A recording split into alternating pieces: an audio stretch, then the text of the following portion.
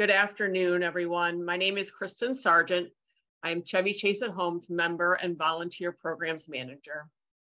As you may know, Chevy Chase at Home engages adults 55 and older in social and educational programming, both in person and virtually.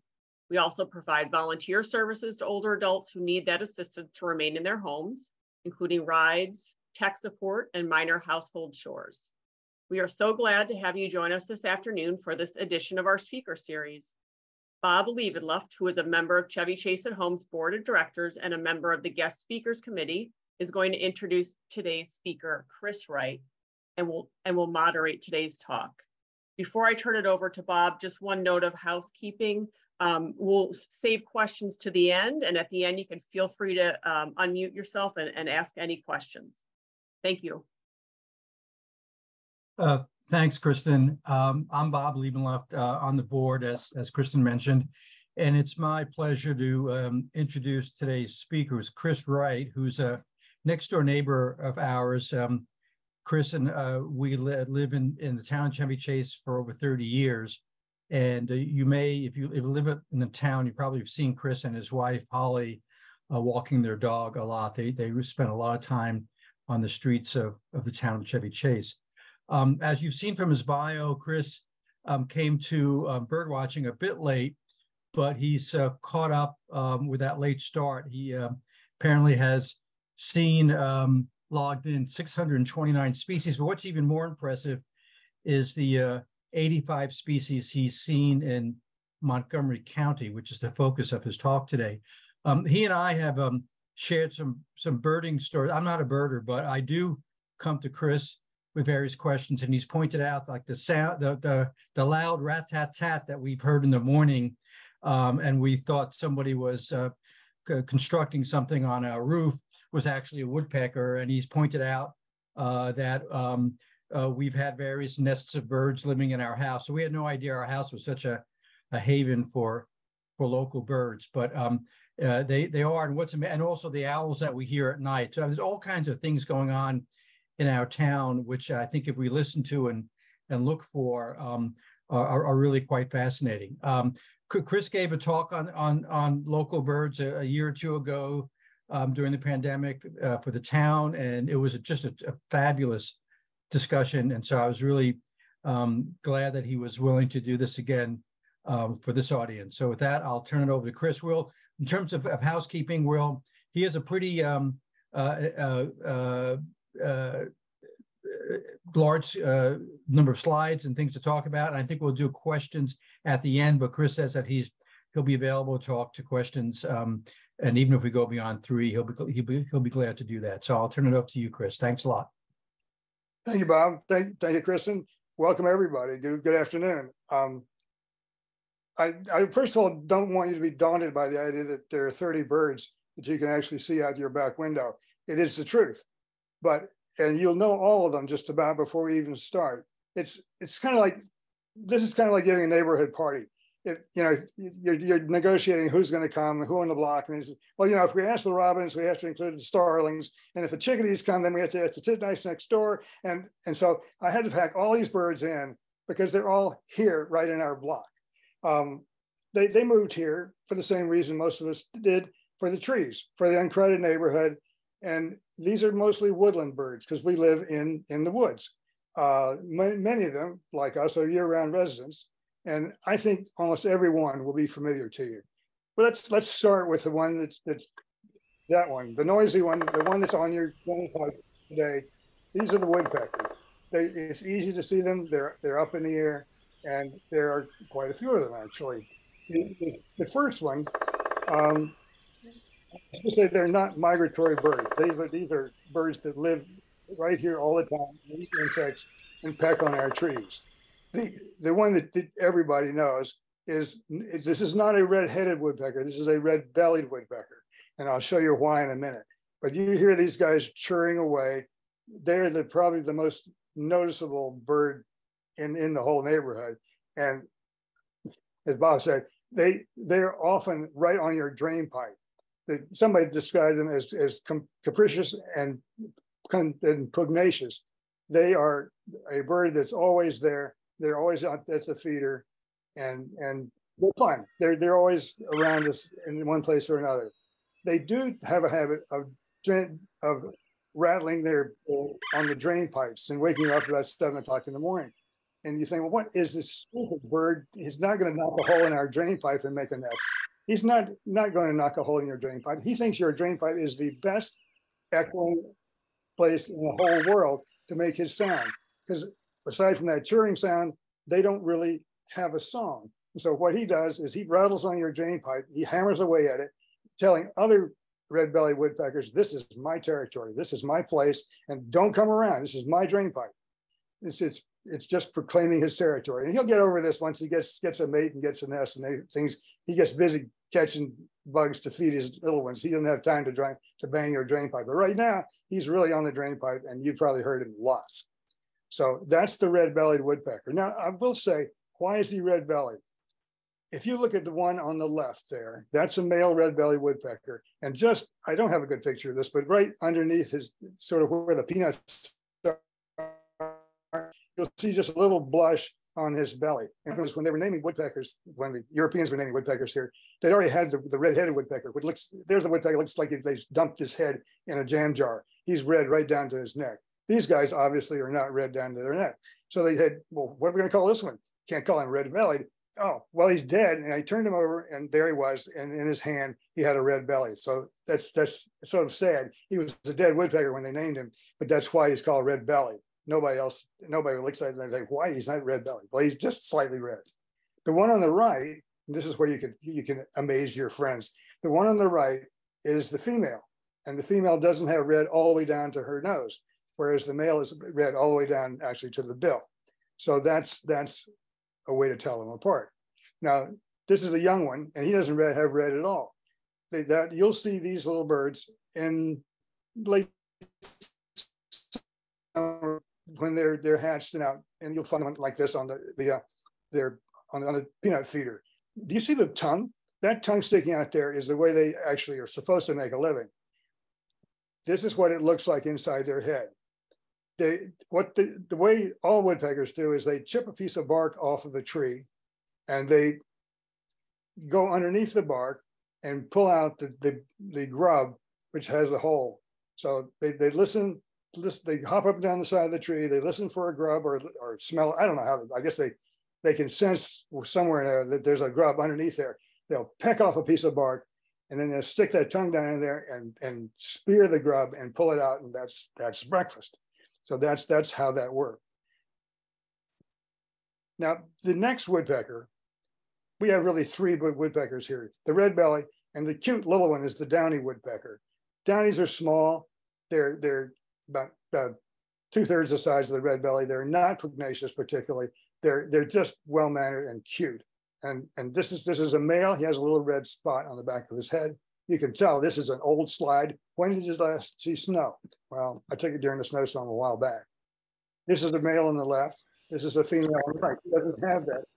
I don't know if you can hear that little, can you hear the, the very sharp peak and a whinny kind of sound? That's that's their sound. And and you can tell they're pecking too because they make a much faster pecking. So there, if you can hear that at all. Um, it's very high pitched and it's a very soft sort of whinny, and you'll hear them in the trees.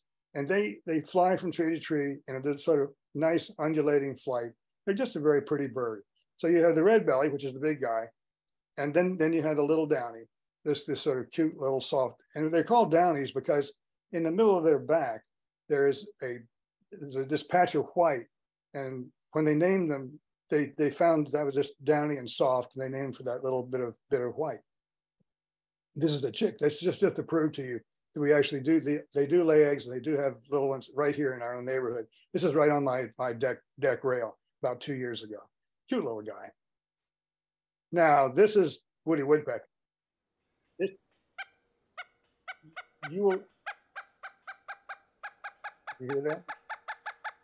You occasionally hear this in the woods. These, these are pileated woodpeckers. They're the largest woodpecker we have and they are very noisy. They're, they're interesting because they live here in Chevy Chase because we have lots of old trees. Of course, they keep either falling down or being cut down or the, the rotten branches keep being cut off so they won't fall on our heads. But you know, they're actually a wonderful woodpecker for our area. They, they live in big old holes in big old trees. And the interesting thing about them is they are almost extinct in the 1900s because they cleared all land for farmland. And they just come back now as, as suburbs have matured and the trees have matured and, and there's plenty of places for these guys to live. Um, their, their diet, as in all woodpeckers, is primarily beetles and larvae. And you'll find them on the ground. They are, they're, uh, they like to poke around a fallen log. If you have a fallen log in the backyard, hope for a pileated woodpecker. So that's, this is a picture a friend of mine took. Did you see this, this sawdust just banging away at that, that tree? She, she caught just all, the, they just, there's a lot of force in, in that, uh, in that, that sort of wonderful deep sound. Now, this is a, a, woodpecker, but not in the sense that you would think. They're, they're yellow belly sapsuckers, and they are, they're what's called passage migrants. They come through here from going from Florida and Central America to New England and Canada, where they actually breed in, in, in the boreal forest. But they come come down, down through here. Um, most of them have left by now. You the, the thing that, that you will see that, that makes you realize they're around is this, if you can see this row of like like machine gun bullet holes in the trees. They they're called sap wells, and they make they they drill these little shallow holes and the tree bleeds through those holes and they drink the sap and they eat the insects that are attracted by that. And they'll set up shop here for a week or two and and you know they'll live here until as, as it gets warmer they move north and and end up in, in Canada. And then in the fall they come back through and do the same thing again. And the next slide shows kind of what happens. Here are this this the one on the bottom is a an adult male, I guess it is, uh, is a, is a young one that's coming through. They had was born in Canada. He's coming through here, heading for Florida for the winter. So that's that's the the yellow-bellied sapsucker. Again, a, red, a woodpecker, not what you'd quite call a woodpecker, but you'll see them around. The next one, again, is not what you think of as a woodpecker, but it's, it is one, and it's called a northern flicker in this case, a yellow shafted flicker. And they're around, they live here and they breed here. So they come up from Florida in, in the early spring. And you kind of know, know it's spring if you if you see them up in the top of a tree like this. They're very much birds way up at the top of the tree. And they make this funny sound.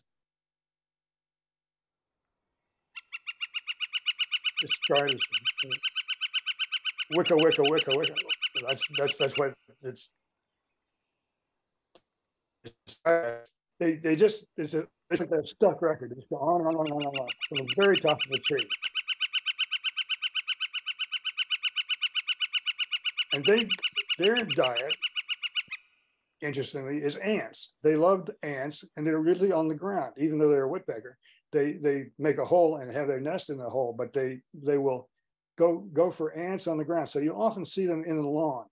And if you notice here, this is a male. He has a red patch on the back of his head, which most field, females and males have. But he also has a mustache. So the male, male flicker has a mustache. And here's the group of them on the ground. This is, this is very typical of what you might look out the window one morning and see. So they're, they're, the, they're the woodpeckers, the ones up high that all of us can see. And I think you can, you can remember them. There's the downy and the, and the red bellied. There's the pili, the big old pileated, it looks like woody woodpecker. There's the sapsucker, and then there's this the uh, the flicker. So now, okay, we're on the ground. So maybe we should stay on the ground and see what else is down there. Robins. Have you have you ever seen a robin? Everybody's seen a robin. It's kind of interesting. What do we know about robins? They're singing now. They're noisy. They make lots of song. Of this kind of cheerio, cheerio, cheerio. It, the interesting about thing about robins is there are a lot of them. They love us because we have lawn, and they love to eat, go after the earthworms in the lawn. This is not. They were named, of course, for the English robin, which is a red, little, cute little robin redbreast.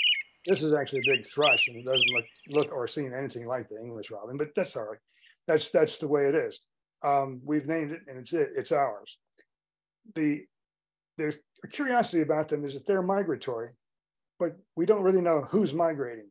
So there's a bunch of robins that, eat your holly berries and are around all winter. And you say, well, you, what's the first robin in the spring? That's, that's an English phrase because the first robin in the spring here might be a robin that's that's going north from Florida and ends up here. It might be just a robin that's been here all winter, and then vice versa.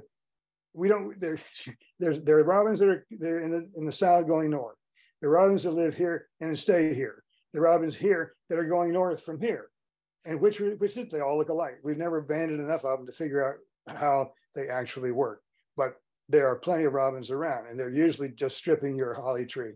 Uh, they're they're a nice bird, and they, their song is really great. This is a robin looking for for an earthworm, and it's it's they call this the bill pounce. And if you watch, he run along the ground, his head's cocked, he's looking, he's looking, he's looking. There he goes, and then they'll go along and, and look for a, bug or a worm, and then he'll, he'll run along the ground again. And now, you, now you when you see them on the lawn, watch and you'll see see them doing this this funny little bill pounce where they don't just just sort of walk along and stack. They look and then jump, look and then jump. And you also might see them in the window. and, and you may say, well, what is the matter with that robin? He's been flying at that window for the last half hour. What doesn't he know? This robin, well, maybe he isn't that bright. I don't know. This is a robin that was in our window he's flying at what he thinks is his his competitor, his rival. It's actually himself reflected in the window. And if you look around to the back of his head, that's that's Robin Snock, where he's been flying right at the window. So I can't tell you about the intelligence of robins. I can tell you only that that's what happens. And so if you have one flying at your window, don't worry. Dar- Darwinian selection, whatever it is, he'll he'll eventually go away. Now, there's a the, the starlings, we all know starlings, I'm sure. They're sort of big, big black birds with a yellow bill. And we don't like them very much. They're noisy, but they do eat a lot of bugs. They're a very good thing. And the interesting thing about starlings is they, they started with 100 individual birds were released in Central Park in 1890-91 by a guy named Eugene Schieffelin. He and the American Acclimatization Society thought that they would introduce in America all the birds in Shakespeare. Well, thank you, Eugene. There are now 100 million, 200 million actually, starlings, and they cover the whole continent.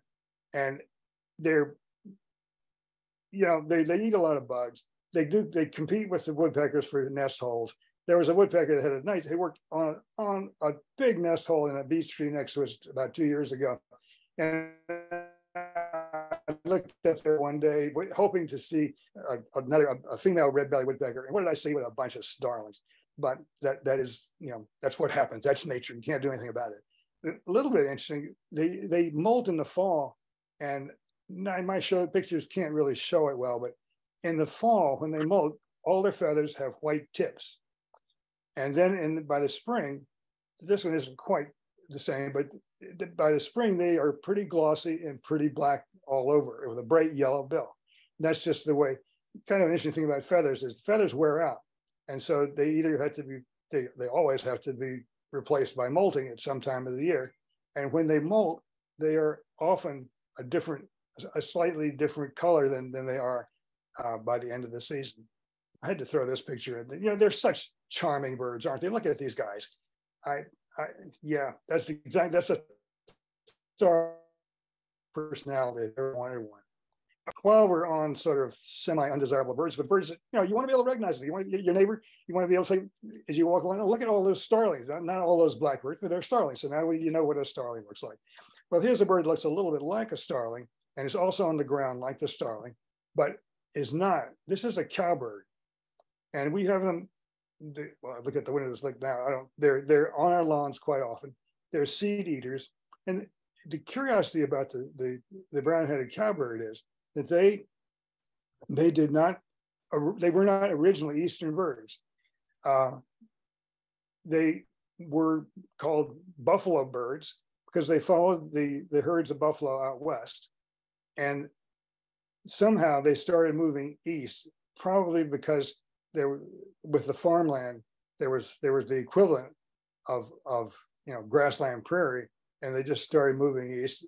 They the reason they, they are what's known as brood parasites, and they follow the buffalo herds, but the buffalo herds moved, but they wanted to lay their eggs in the nest, obviously. So what did they do? They figured out, well, I'll lay my eggs in somebody else's nest and then, then I can keep going with the buffalo herds and they, you know, whatever happens to the eggs happens, but I'll I'll be gone.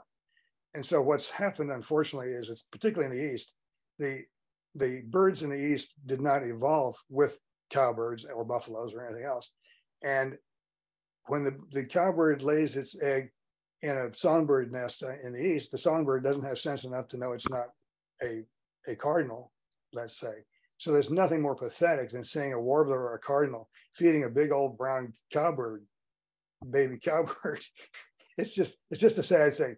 They, I think that they're beginning to figure out that the, the eastern birds are beginning to figure out that that big that big thing in my nest is not that big egg in my nest or whatever is not uh, is not really a, a, warbler nest is not not really a, a, cardinal it's something else and they cover it over or they don't hatch it but but still, that has been a problem for a, a lot of eastern birds that, that the, the cowbirds have been laying their their eggs in the nest. This is what the two of them look like.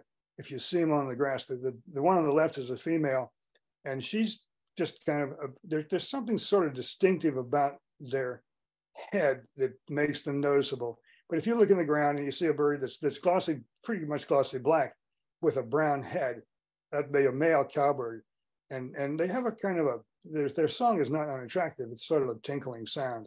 But those are, are birds actually western birds that have moved east and they're on our ground on our lawns all the time. Now all right uh, let's get off the ground who are all these little birds in this feeder well th- this particular feeder out back has these are sparrows and and uh, finches gold, golden house finches and, they, and I'm trying, I was going to, well, never mind. There, there goes Bob's car by instead. Uh, that's a red. We'll, we'll just, we'll have to pick this up from there. There are really a bunch of finches and a bunch of sparrows that come to our feeders all the time. And you all know about house sparrows. The house sparrow is, is sort of the, the most unwelcome bird around.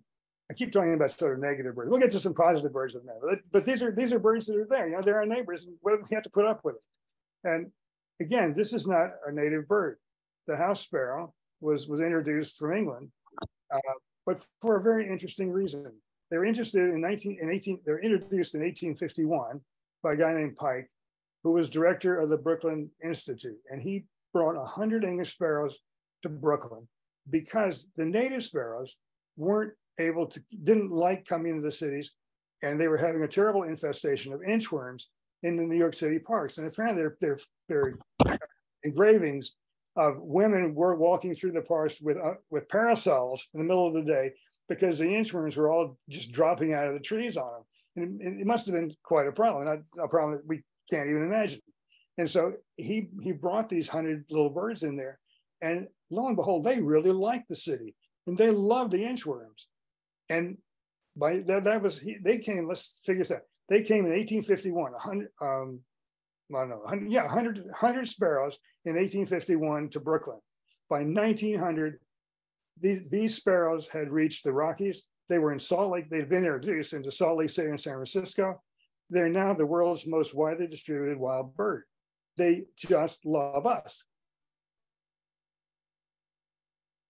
They got here and, and they said, you know, one one farm, one town after another, just an what somebody called an archipelago of places where they could they could live, and there was no competition because the, the, neighbors didn't want to be in the town, and, these guys took over. So that's why you have so many of them. It's their own fault, but you know they're not too bad. The guy on the left is is a male, and he's a little pugnacious looking, but he's actually pretty colorful little bird when you think about it.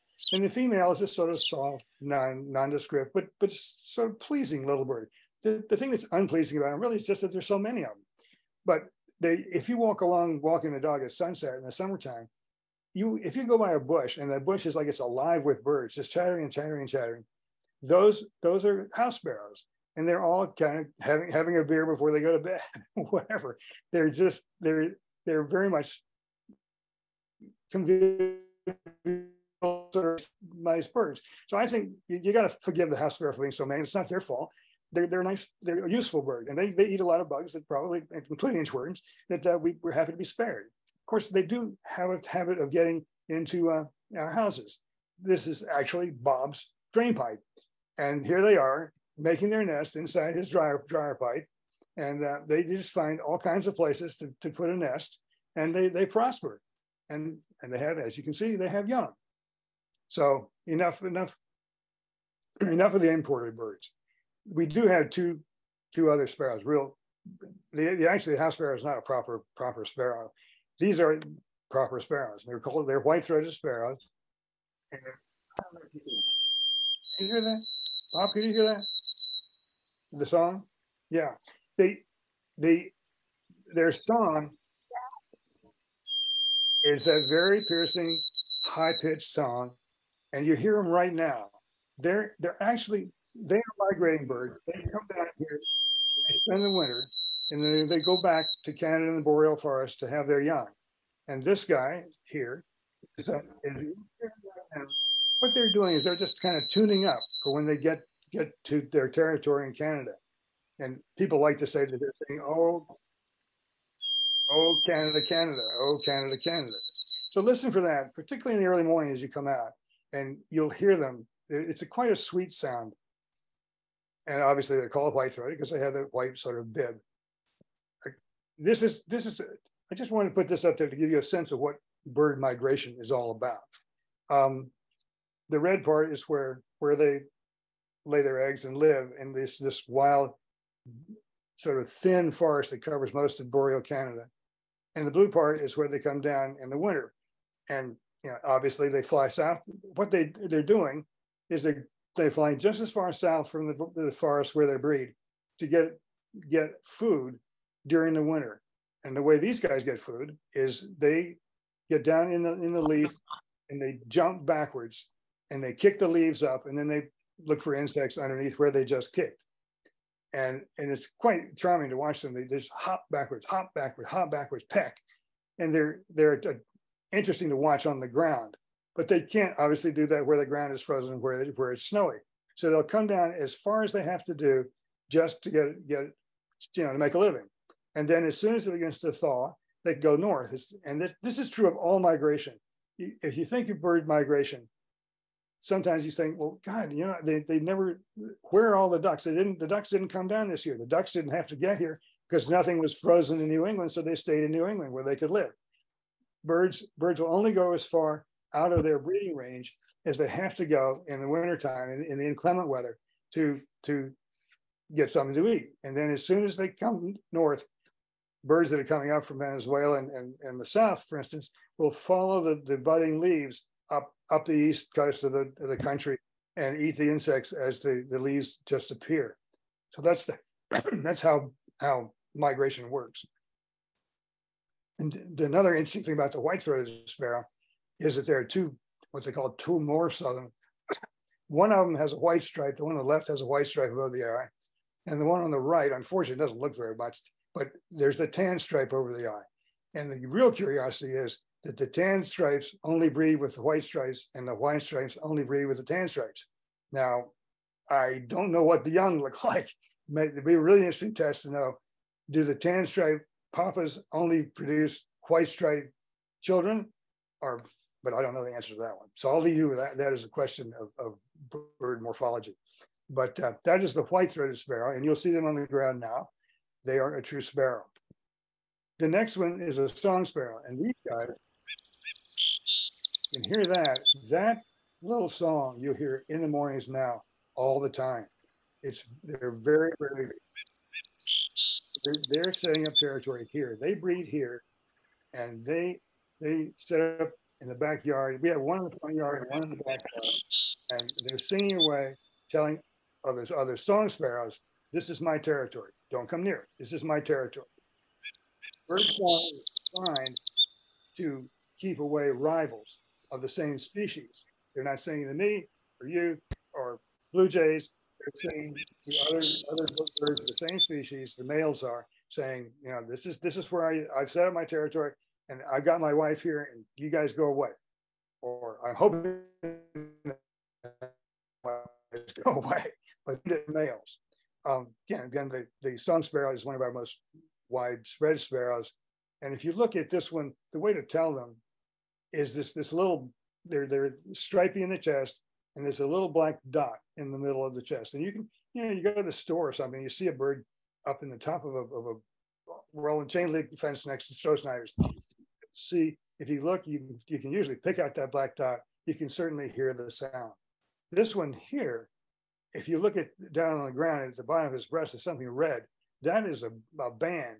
And this bird was banded by, by the Smithsonian. They had a, a, a suburban uh, bird banding project in 2017. And this bird was here in my yard until last year. So that is what, five years that that bird seemed to breed, survive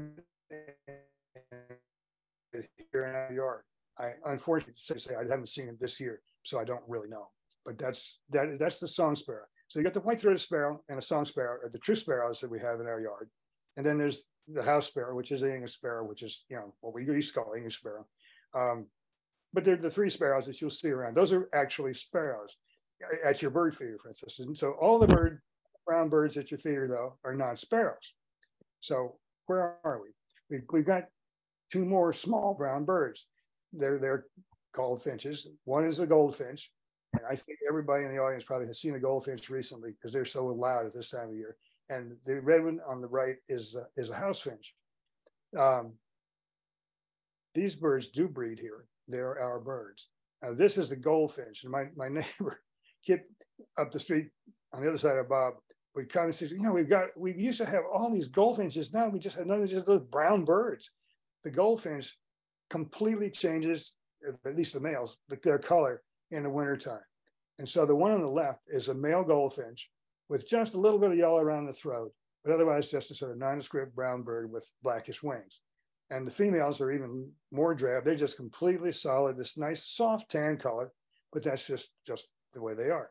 And then come April, the male just like overnight sheds that brown color and turns out to be this, this orange, big, bright yellow thing on the right.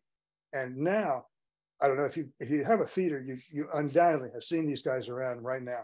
They're everywhere, and it's just like a, a flash of bright gold in the in the air. They're they're lovely little birds. They're so the interesting thing about them is that they will be at your feeder until July, well, late June and July, and then they disappear, and that's when they nest. They nest out in, in the trees and in the fields in the late summer when the thistles are all blooming because that's what they eat. They prefer over anything else. They prefer thistles. So if you have the way to attract them all summer, frankly, is to, to have one of these upside down thistle feeders, feed them the Niger, uh, they will come to that those little tiny black seeds all summer long. Um, and it's, and it's fun to have a little bright yellow thing in the middle of the summer when it's too hot to go outside, but you can look at them there. Now, these are both house and goldfinches, and the, bottom, the bird at the bottom there is the back of a goldfinch. The two at the top are house finches. One on the right bottom is another goldfinch. They're they can get inside the wire feeder. They're they're great great feeder birds. The house finch, I think if you if you've been looking outside today these days, you've seen these guys. They are bright orange red, and the male males are bright. I should say the one on the right is also a female, and she, like the female uh, goldfinch, is just drab and and in in trying to be sort of subtle and quiet. She has these dark brown stripes on on her belly, and she's just quietly trying to mind her own business. The the male is they're they're they're pretty pushy and they're bright orange, orangey red at this time. Um, the curious thing about house finches is they aren't they are also not native to our eastern seaboard. They were a, a a bird of the arid Southwest for most of eternity. And then in 1939, there were a bunch of them were released I, apparently by accident from a New York City pet store, and they have taken over. And they're they're just about the most uh, numerous small bird in many cities now in the East. They only live in cities. They don't. You'll never. I don't think you'll ever see one out in the countryside. They're kind of like the house sparrow. They love the cities. They're very happy here, and and they they just they don't migrate. They they love our lawns and they love our feeding stations. They list they like the house sparrow. They'll live in any anybody's vent or or you know dryer vent or whatever, and and they're they're our local finch. So there they are, a a bright orange orange faced bird at this time of year, or or a brown looking female. There's going to be house finches. So you got the goldfinch and the house finch. So those are our two finches. So those those are all the birds that people say, "Oh, I just got sparrows at my feet." Well, they're not sparrows. Look closely. They'll either be the, the house finch, and the house finch is red all the time, all year round, sort of, but not like now. But the goldfinch, again, it's it's yellowish all year round, but now it's gold. Uh, so those are those are some of our most common feeder birds. Now there there's some other feeder birds that that we see. One usually just sort of one at a these I call them small charmers. I like these little birds. They are they are really just they have personality. Let's start with the nuthatches. I mean, who could this this guy? Oh, I'm sorry, that's his song. You've heard him. If you walk in the dog in the morning this time of year, it's it's it's not it's the best they can do. It's just whack whack whack whack whack whack. that that is the go the the nuthatch's song, and they basically make a living going up and down the trees, finding insects underneath the bark, and, and feeding seeds. They will come to your feeder, usually just one at a time. Though at this time of the year, sometimes you'll see a pair, and they'll tolerate each other. But usually, they're just one at a time, and they just they they are one of our real woodland birds, but they come come to around our houses, and I think they're quite an elegant bird. I I'd like this Charlie picture of one sort of hyper of what that little buff underneath the bottom and that cool black stripe across the head. Anyway, that that is it. Oh, there's this was on my deck rail again. This is a mom feeding a baby last two years ago. So you know they do they do live here and they do do breed. Now, of course, many people know the chickadee. This is a Carolina chickadee because there's another chickadee which you can't tell I can't tell apart from this called the black cap chickadee. But for us, our chickadees are southern a southern chickadee, and they're just they're just a cute little bird. They come they'll come to your feeder. You'll see them around, but one at a time. They're very shy, and they're very fast. And they'll come and grab a seed, and then they'll run off and and hide on a branch and, and peck away. They're this is one that I found.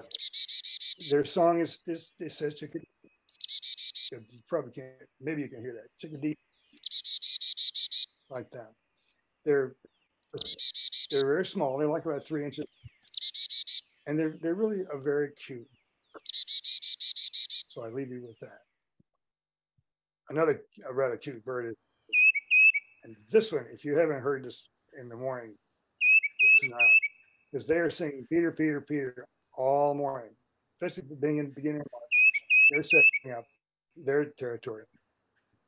Here, like the chickadees and, and the uh, nuthatches, they're here in our woods all year round. These are resident birds. And again, the titmouse is a, they they all three of these birds list nest in cavities in our our trees, and they like our woody suburbs. They they moved here for the same reason we did. We like the trees. They like the trees, and they're they're one of our sort of endemic birds. They're not shy. They will come looking in your window if you don't look out, but uh, they're they're a nice little bird. So those are the tufted titmouse um, with the Peter Peter Peter song. A similar song is the Carolina wren, and this is a bird you will hear in the morning lots now. Like like all of them, they're setting up territory. They're singing, say, my territory. Um, everybody stay away. It's my territory. It, it, they are a southern bird. It's called a Carolina wren. And I like to think you come out on a morning when it's been 10 degrees or, or even cold, any cold morning, and they're usually out there in January, February singing that song. And I like to say, to the, yes, they're Carolina Wrens, but we, we made it through the night. We made it through the night. Another cold night. We're still here. Um, the the interesting thing that the males are the only ones that sing in, in the Wren department, and two Wrens. If you hear two Carolina Wrens singing that kind of teacher, teacher, teacher song, they are there are two males telling each other, "Okay, this is my territory. You stay where, where you belong." And they one of the curiosities is they will imitate each other. The one will sing, stay away, stay away, stay away. And the other one will say, I can say stay away, stay away, stay away too. And you say, no, no, no, no, no.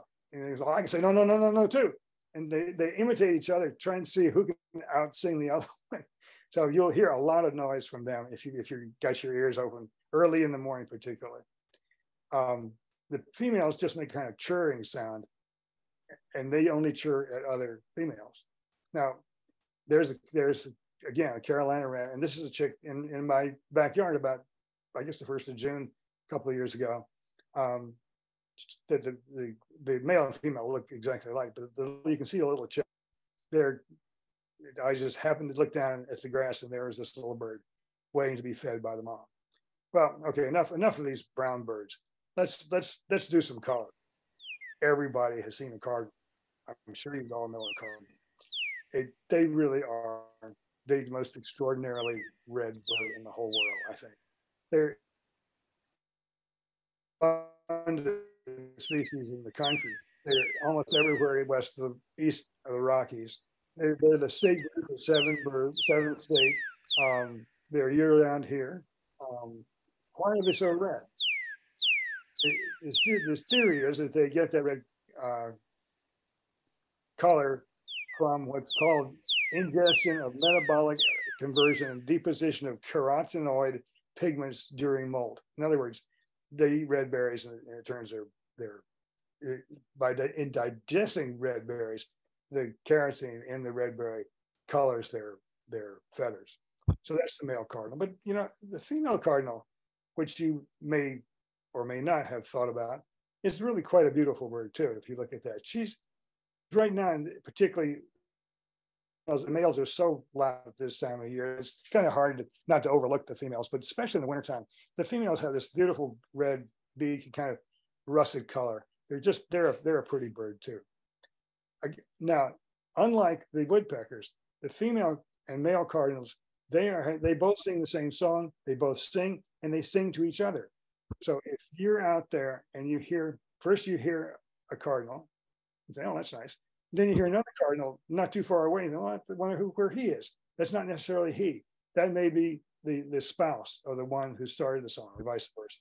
I didn't know this. I thought that was kind of this is one of the few I know where the, the bird they actually do the males and females sing together. Owls do that too, but that's we'll get to that in a minute. So anyway, they live in the so how about the blue jay? I've done the red. How about the blue? You've heard them all over the place. Uh, they like our wood. They like the oak beeches, the nut star. They, they come around to the bird feeders. They they're here all the time, and you know they get a bad rap because they do they do get into other birds' nests, but they're they're really quite a wonderful bird. They're they're monogamous. They stay in family groups. Last year's brood helps with this year's brood. Um, they they will defend the territory against other birds, particularly owls and hawks. They're they're they're not they're they're a nice bird. I I think you, they they get a bad a bad story. But then again, who can say? They they one of the this is an illustration from John White's um, book Illustrations of Virginia, and um, I have to give you the quote from Alexander Wilson, one of the early American ornithologists. He said of the blue jay, is distinguished as a kind of beau among the feathered tenants of our woods by the brilliancy of his dress and, like most other coxcombs, makes himself still more conspicuous by the loquacity and the oddness of his tones and gestures. Well, they make all kinds of noises. You can be really fooled. A blue jay can sound just like a red-throated hawk. And, and that scream, you say, uh, where is that hawk? And they're just making the sound. Nobody knows quite whether they're trying to to be scare other birds by, by sounding like a hawk, or whether they're actually trying to scare away the hawks. But anyway, they can they can imitate a lot of stuff. They're just a very interesting bird. Family, nice families. Um, you know, they're they're good family people. They're they're good birds. So they're, they're there's a red-bellied woodpecker and a blue jay. Yeah, apparently the, the blue jay is deferring to the red-bellied uh, woodpecker there. Now, this is not a colorful bird, but this is a bird that, has now just arrived in our neighborhood. The catbird, you can hear the song. It's they're they're said to be a mimic. They don't really mimic that closely. They just have this long, stringing out series of songs. And I don't know if Bob knows, but this I think that this bird comes back every year and nests in his backyard. And the, the neat thing, Bob, you just built that nice porch. If you're listening in the evenings right now, you'll hear this bird singing this song. The male sings to the female on the nest. So this is this is their evening their evening song. They're really quite a charming bird. They, they're soft gray, have a black cap, and they uh, they're they're a bird for me that symbolizes spring. Spring has come in in real. It's really really come now. Not a migrant, but a bird that's here all year round is the mockingbird, and they do. They are a perfect. There we go. What would you like to imitate next? They sing in praises of three, usually and they can imitate anything. anything. This one was there's a, a crabapple tree at the bottom of our street, and this guy would sit up in that crabapple tree and and tell everybody, ah, this is my crabapple tree. Don't even think about coming around. And with this this constant, constant song. Um, some they said they have as many as 150 songs one one uh, bird. And there was one when I worked at the Library of Congress. There was one that would sit on top of a holly tree at the intersection where there was a policeman, and he could imitate the policeman's whistle. That was in the days when policemen didn't have whistles, traffic whistle to the point where you couldn't tell whether it was the cop or the mockingbird. They're, they are fabulous mimics. They're, they're fun. They're nice, nice birds. They're, they're one of our very local birds. This is these birds are around all year round. So, okay, how about, how about the big ones? Um, this is a crow, American crow. We have actually we have two crows. I have to tell you to confuse things: the American crow and the fish crow, and they have a slightly different sound. And I think they are competing with each other for our neighborhood over here. And the, the crows are are just constant. Everybody's heard crow, I'm sure. But you know, look at that. That's a beautiful bird. And they're interesting birds. They flock together. If you if you want to see an owl or a hawk, listen to the crows. They, they have what's called an assembly call. They'll tell, y'all come, everybody come. Here, here's a predator, here's a predator, come. Tree and mob a an owl or, or a old four old hawk, and it's it's really they're really interesting birds. They they've they're very smart. They're so smart that they we really don't know very much about them. We we do know that in the 19th century they were almost they were just persecuted everybody thought they were bad birds and they shot them. And the crows figured out that if they moved to the cities and towns, they would not be shot. They wouldn't, you know, they were originally, you know, country birds. But if you if you could move to the city, why nobody would shoot you. So now they're almost entirely an urban bird, and they they live by their wits in you know from the star Starbucks trash and whatever it happens to be.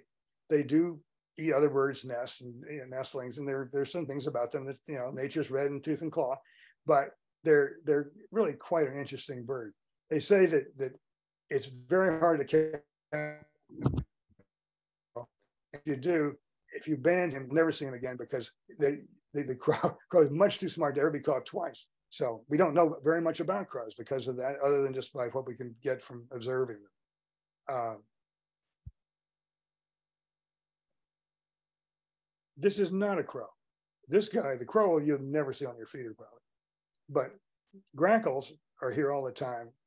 And they, they are these big black birds. They're year-round residents. They like the suburbs. They like parks.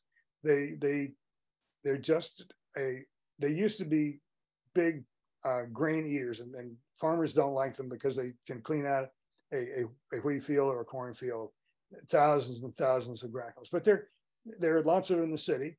And right now, they're, my wife keeps saying, oh, there's another one of those big black birds on the bird feeder. And, and I think actually, I look out my window, there is one right there right now. But you know, they're they are birds and they are big and black and shiny and they're easy to see and they're kind of fun for that that reason. And look at this. How how could you not like a bird with a big yellow eye like that and and such a glossy? This is a purple grackle. Well, duh, yeah, it's purple, isn't it? That so that's that's the that's the grackle. They're our pretty one of our biggest birds around the yard. So let's go small the, the littlest bird we have, of course, is a ruby-throated hummingbird. And you don't see them right now. If you see one right now, probably he'll be a male coming through. The males come up, they, they winter in Mexico, in Mexico and Central America. Some of them, believe it or not, fly all the way across the Gulf of Mexico without stopping. They're just extraordinary acrobats. They're, they're incredible. Their wings are situated in such a way they can fly backwards and forwards and up and down. Uh, they're, they're, when you watch them, they're really fast and they're fun to watch. And you can have them in your yard if you put put in any flower. This is a salvia that was in a window box by by our, our deck. Um, cardinal flower, any of those big, those blooming late summer tubular flowers will attract the hummingbirds. The males have a wonderful red gorget. I'll show you a picture in just a second. Um, it's if you turn the bird turns just right, the feathers the crystals in the feathers reflect light in such a way that it's it's this brilliant red color. It's the only really, only hummingbird we have on the east. The west is full of hummingbirds, but they're all in the west. Um, you this is a female in, the, in my photograph, and the, what comes through later in the in the summer are females, and uh, and the first year males, and none of them have the red gorget. Occasionally we'll see them, but but basically they're not there. And this is a picture of what one looks like if if you can catch the light just right. Friend, friend of mine made this, and I've never been able to get a picture like that. You don't, frankly, you rarely see them like that because they have to turn just the right way. it, it is interesting. This is a picture I took of a female and a nest. That nest is about as big as a well, I guess maybe a half dollar at the most. And you can see she's tiny, and that's even smaller and the little the little hummingbirds just kind of pop right out of the nest. It's made with they make it with spider silk and thistle thistle down, and they they cover the outside. If you look at the outside, those little flecks are lichen, little bits, little tiny bits of lichen, and it's it's really quite a remarkable construction, and and very small. So what else is out there? Well, That's not an owl. That's a duck. And it's called a mourning duck because they, somebody said that's a mourning, said morning sound. M O U R N. But you hear it in the morning, M O R N, but it's not named for the morning. It's named for the sadness of the sound. That's this is the most. It's, a, it's considered a game bird, and it's the most popular apparently game bird country, and they're all over the place. And they evidently those who, the people who dove season, we had a place on Eastern Shore. Dove season was the everybody went out with a shotgun trying to shoot doves are not stupid. They, they may seem kind of slow, but they're not. And when dove season comes around, they just fly really quickly from one place to the other, and it's just like a bolt of lightning. You, it's people tell me who actually shoot doves that it's it's it's almost impossible to shoot a dove. But these are these are mourning doves that uh, we we have around here. But these guys are here all year round and they're you know they're pretty. They're a pretty soft bird, and they're they have that sort of nice soft sound. This is doves in a, in a just a whole bunch. So if you up in the trees and you see birds with long tails like this and little tiny heads, sort of I don't know what, what you call a figure, but but small head, long tail, and sort of rounded middle. That's the silhouette of a mourning dove. You'll you'll see them around lots. Um, okay, those are the here we get to the, the, the meat of the project, the birds of prey. Now we've we've been talking about little birds and big birds and whatever, but these these are the, the kings of our forest, kings of the urban forest. And they're, they're, we have hawks and owls and vultures that are here. You won't necessarily uh, have seen them, but they're they're definitely here. This is actually a red-tailed hawk just down the street, taken way up in the trees. You know, you have to look for a silhouette in a tree that just doesn't look like it quite belongs there, and it'll be usually a hawk. So something flying over. Would you? How about an eagle? Would this be an eagle? Well, did it? Does it have a white head? Can you see? Does it have white? And Don't see. Eagles have white tails and white heads. Sometimes you see one flying over, but this one doesn't look like. Aha! This is a turkey vulture. You see these guys all the time, but usually way up in the air, and they're they're they're vultures. They they clean out deer carcasses. They're roadkill. They're they're quite useful animals, and there are lots of them around. And so when you look up in the air and you see something sort of floating along with with these big wings. It's not an eagle, it's a turkey vulture. But I mean, the redhead is not maybe the most attractive thing in the world. It's it's useful. There are no feathers on their head because they're sticking their heads in into carcasses and they don't get covered with well, never mind. But anyway, that's that's a bit of turkey vulture sanitation. Um, there, that's I actually did have one, not at our feeder, but it was on the deck rail. There was a dead squirrel. I don't know how it got there. There was a dead squirrel on our on our back deck in the wintertime several years ago. And I looked at it one day and I thought, my God, there's a turkey vulture sitting on the bird feeder. And I couldn't figure it out. And I finally figured out that there was this dead squirrel down there. That's the only time I've ever seen one here in the town of Chevy Chase on the ground. But you'll see them on the roads all the time. These hawks, red shoulder hawks, you'll hear all the time now. And there's, there's the scream is multiple screams. And I see the easy way to remember that is they have two shoulders, they have multiple screams. They're, they're, they love our suburbs. They love these big trees. They love our, our chipmunk. They I think, like I hope anyway, the, uh, the rabbits and the mice and, and the starlings apparently.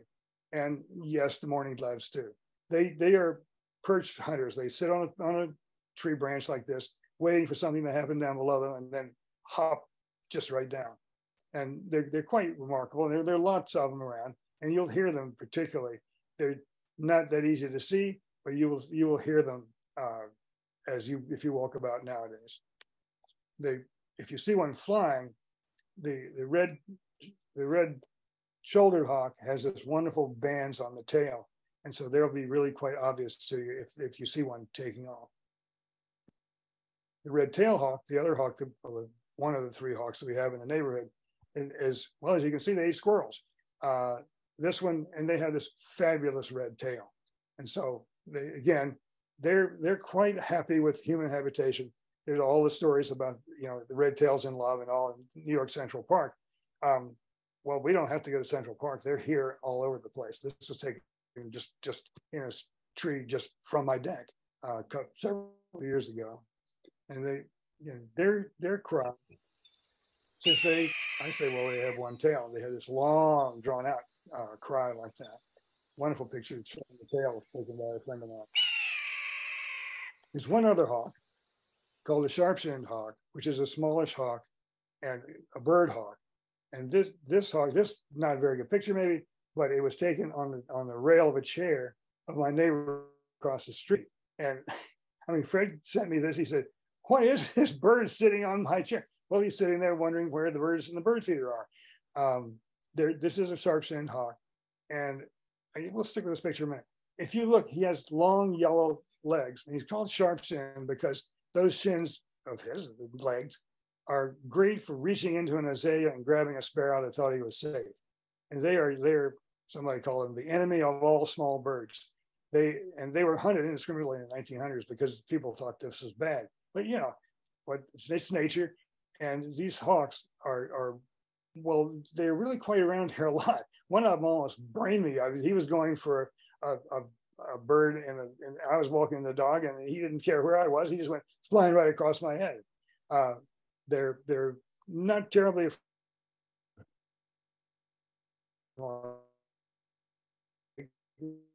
sort of medium size and had this wonderful, the males, the, the mature ones have this wonderful red eye, if you can tell there. That's a mature sharp-shinned hawk.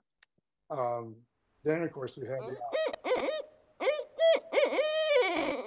This is, we haven't heard as many as I'd like to say we've heard in the last few years, but this is a barred owl. Supposed to be saying, who cooks for you? Who cooks for you all? And two barred owls will set up a duet back and forth, male and female. And it's a fabulous sound. And they just, they sometimes have this, they end up with this, this sort of maniacal laughter. They're called barred owls. They're, they're a wood owl.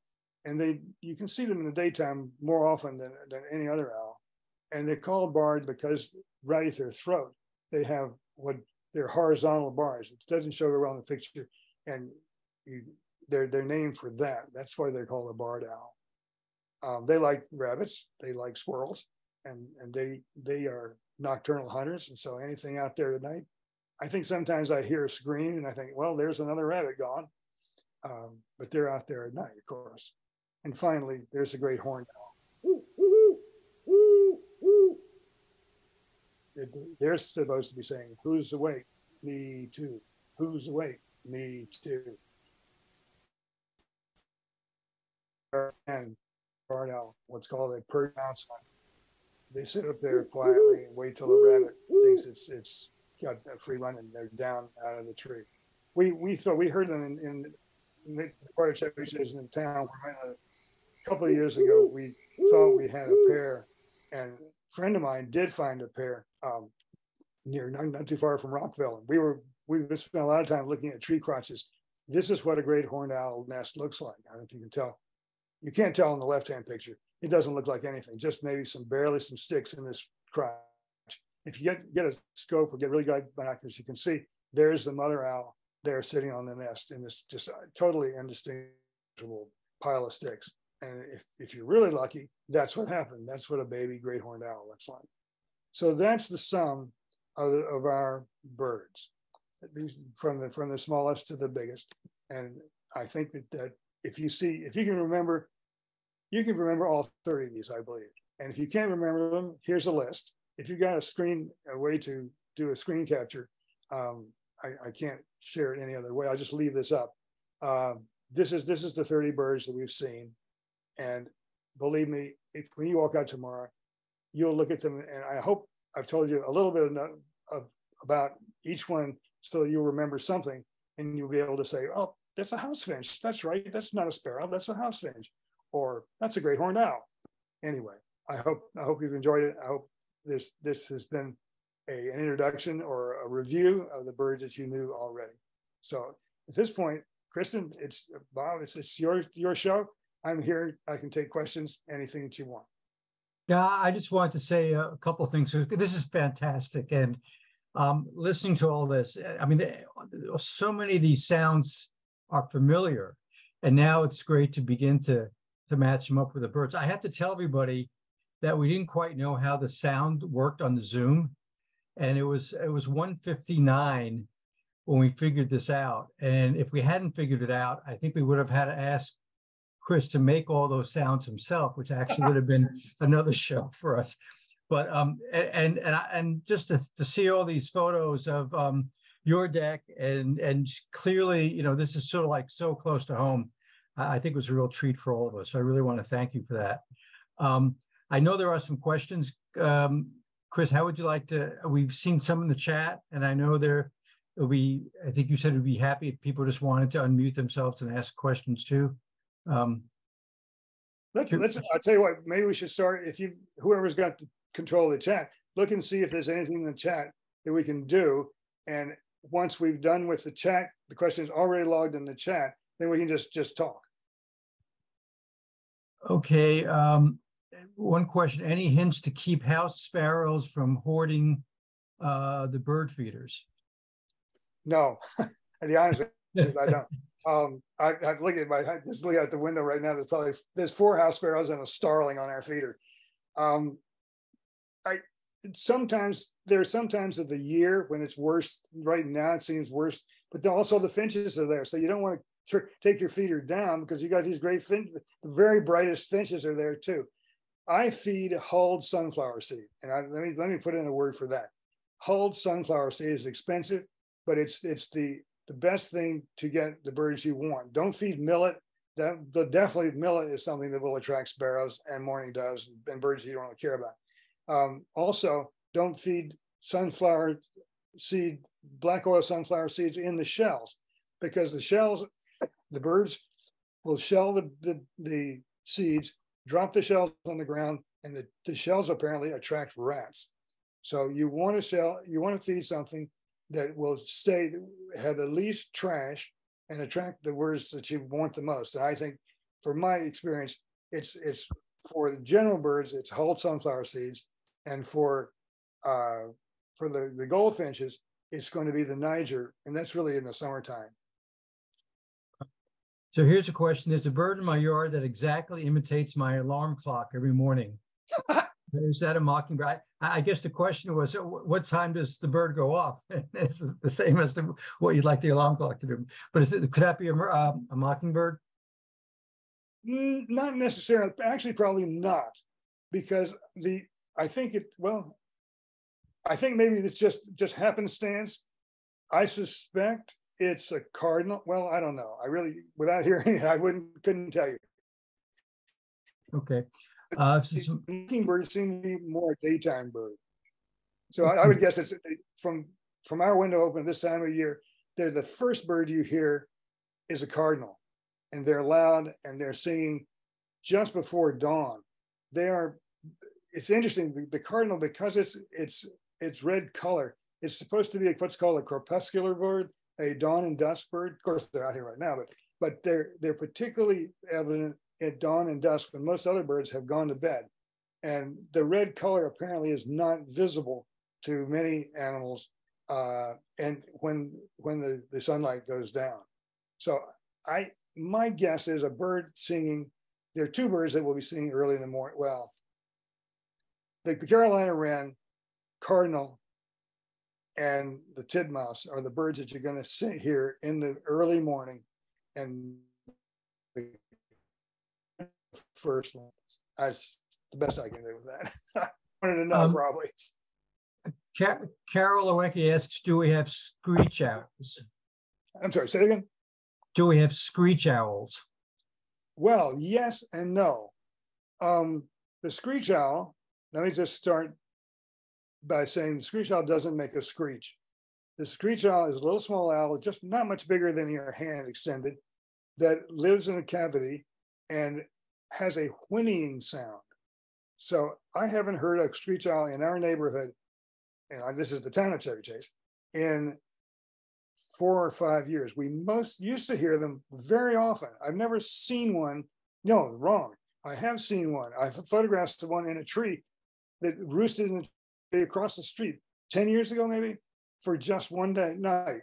Um, and then he flew into your yard, Bob. He, he was across the street and he jumped out of the tree just at sundown and just flew out of that tree and flew into your azaleas after something. And that's the last I ever saw of him. Um, that the, so the answer to the question is yes, we have had screech owls.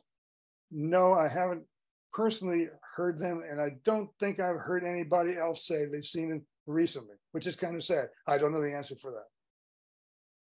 Okay, um, here's this one from Ken uh, Emmenholt. He says, We've seen many, quote, hairy woodpeckers. Why were they not on your list? I wonder who got me. I have beautiful photos of hairy woodpeckers. And okay, all right, you asked for the hairy woodpecker is bigger is is almost as big. The hairy woodpecker looks just like the downy woodpecker, except half again as big. It's a beautiful white, black and white woodpecker, um, and it's just all its proportions are bigger and, and less cute, more robust than the downy. And I didn't want to confuse things by saying that. Uh, anybody who wants to see some nice pictures of a downy woodpecker, send me an email and I'll send you. They're they're they have been here. They're daily for some reason. Downy used to be red-bellied woodpecker and a downy woodpecker were pretty much the only woodpeckers, you know, recognizable woodpeckers we would have. And then, then of course, there, there was occasionally the pileated. And then about two years ago, uh, Carrie McInerney, my neighbor down the street, started, uh, somehow she got a hairy, a hairy couple to, to nest around. They liked her bird feeder.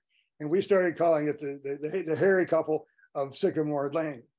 Well, this year I've been seeing both male and female hares on the on the bird feeder. They've been coming regularly, and I didn't put them in there because I thought, okay, 30 birds is 30 birds, enough. But anybody wants to see a picture of a hairy, they're here, and, and they are beautiful birds. And while we're on it, I'll just say, so if there's a question there about purple uh, purple finches, the the the orangey red house finch that, that I've shown pictures of is the normal finch we have here. For some reason, for the first time in my life, we have been getting purple finches as well. And the purple finch looks just like the, the, the house finch, except he says there's a slightly blue tint to the orangey red instead, and they're a little bit whiter. And I have plenty of pictures of them, but I didn't want to confuse anybody. And 30 birds is 30 birds, enough. But anyway, there are, you know, there, there are lots of variations. You know, nature's never never, never going to stop still for anybody. And maybe we'll wrap up with one last question. Sarah Demarest, what's the most unexpected bird you've seen in your yard? That's an interesting question. Uh, well, I think, well, for sure, um, the the uh, the turkey vulture was the most unexpected bird I ever ever thought to see in my yard but indigo bunting probably a beautiful blue bird that that suddenly appeared in the in the against the green of the pine tree a couple of years ago. Uh, my neighbor on the other side, Bob, has Nellie Stevens hollies. These hollies uh, have a bloom that usually ha has occurred right at the time when the warblers come through, and the the Nellie Stevens blooms apparently attracted bugs, and the bugs attracted warblers. And I saw some very nice warblers in there. Sadly, this year, I think, we, we the, the, the migration season this year is very because we think of, of climate change. The and it's really cold now, but the leaves are fully out. And what's what has happened, I think, is that we got that hot spell, and a lot of things happen in a hurry, plant wise.